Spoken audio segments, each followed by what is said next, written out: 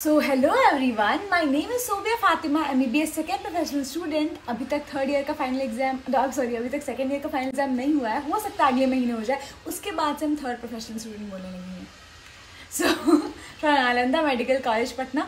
और ये वीडियो थोड़ी ज़्यादा इंपॉर्टेंट है क्योंकि ये पढ़ाई से रिलेटेड है, पहले पहले ही बता दे रहे हैं। और दूसरा ये है कि बहुत से बहुत से स्टूडेंट्स ने जो अभी नए नए सेकेंड ईयर में गए हैं, उन्हें जानना था, उन्होंने मुझसे कहा था कि इस टॉपिक पर वीडियो बनाई जाए कि एम बी सेकेंड ईयर में आखिर कैसे पढ़ना होता है।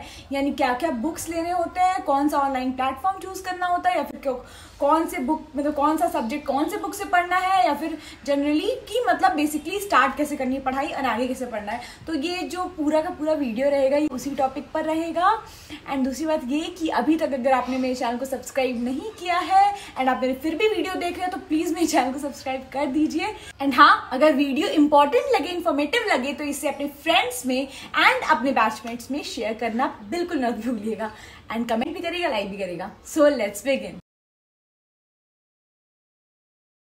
स्टार्ट करें अगर ड्यूरेशन से तो हमारे टाइम में डेढ़ साल का सेकेंड ईयर होता था, वो जो कि अब एक्सटेंड होकर बहुत टाइम हो गया, दो साल आई गेस हो गया, हम लोग का बहुत टाइम हो गया।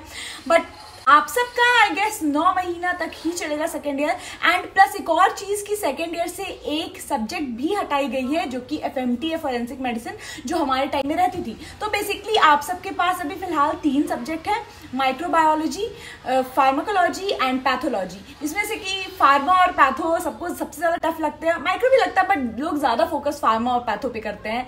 आप सभी वही करिएगा। और वीडियो स्टार्ट होने से पहले पहले ही बता दें कि आ, मेरा अभी तक सेकेंड ईयर का फाइनल्स नहीं हुआ है। आ रहे हैं इसमें किसी से पूछ कर या कुछ वैसा कुछ नहीं बताने वाले। हम पर्सनली कैसे तैयारी कर रहे हैं सेकेंड ईयर की? हम पर्सनली कैसे पढ़ते आए हैं सेकेंड ईयर में स्टार्टिंग से? हम कौन कौन से बुक का यूज़ किए और हमको कितना वो फ़ायदा किया क्या किया? अपना एक्सपीरियंस हम पूरा बताने वाले हैं इस वीडियो में।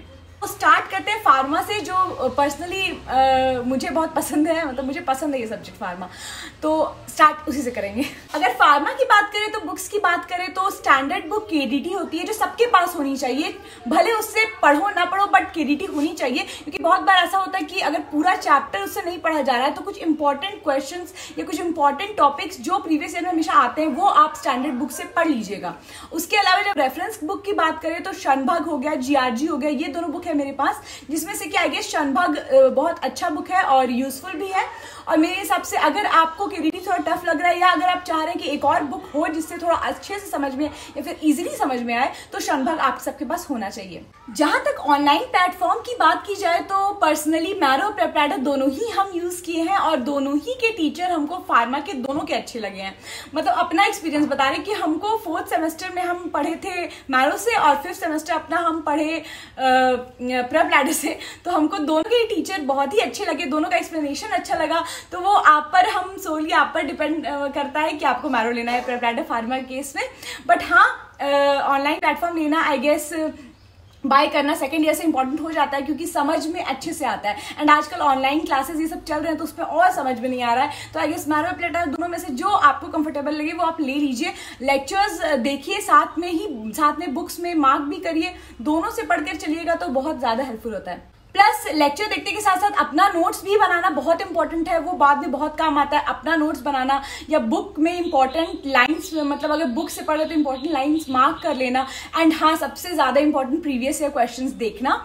उसके लिए भी एक छोटी सी बुक आती है, जो प्रीवियस ईयर क्वेश्चन की होती है तो वो होना ही चाहिए। आपके पास अपने सीनियर से पूछिए या मतलब जिनसे भी पूछिए बट प्रीवियस ईयर क्वेश्चन वाली बुक होनी चाहिए। और अभी स्टार्ट कैसे करना है, किस चीज़ से पढ़ना फार्मा तो जनरल फार्मा तो सबसे पहले पढ़ना चाहिए, उससे एक बेस बन जाता है।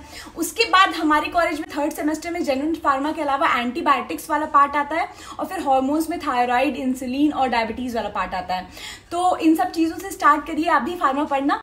और उसके अलावा पैथो पे आते हैं तो पैथो पर्सनली हमको नहीं पसंद है ये सब्जेक्ट बट पढ़ना तो पड़ता ही है टफ लगता है हमको ये सब्जेक्ट बट अगर इसकी बात करें तो इसका भी स्टैंडर्ड बुक रॉबिन्स है तो रॉबिन्स से उतना लोग नहीं पढ़ते, जिनको कंपेटेबल लगता है वो पढ़ते हैं उससे।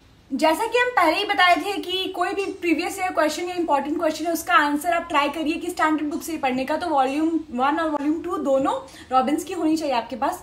रेफरेंस बुक की बात करें तो बहुत सारे रेफरेंस बुक हैं हर्ष मोहन होता है किसी के पास किसी के पास गीतिका खन्ना होता है किसी के पास स्पर्श गुप्ता होता है। सो so, मेरे पास हर्ष मोहन नहीं है जनरली सब इसको प्रेफर करते हैं बट मेरे पास है स्पर्श गुप्ता और गीतिका खन्ना एंड हम स्पर्श गुप्ता से ही पढ़ना प्रेफर करते हैं मतलब हम पढ़ते हैं खुद से जो बता रहे हैं अपना। So so, reference book Harsh Mohan या स्पर्श गुप्ता में से कोई दोनों में से कोई भी एक जो आपके पास अवेलेबल है वो आप ले सकते हैं।